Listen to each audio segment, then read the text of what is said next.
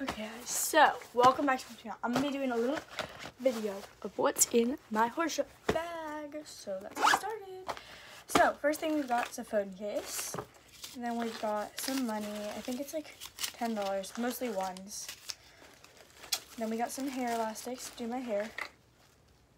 More money. Um, I hope that my time doesn't run out. Stickers for my tech trunk. We got hand sanitizer and a reusable straw. Then I've got a toy for some reason. Then I've got some extra watch bands for my Apple Watch. Then we've got two bigger hair ties. Then we've got mint strips, my AirPods, a bridle charm which I'm going to put on my bridle, and some good luck charms. So yeah, wish me luck at the show. Bye guys!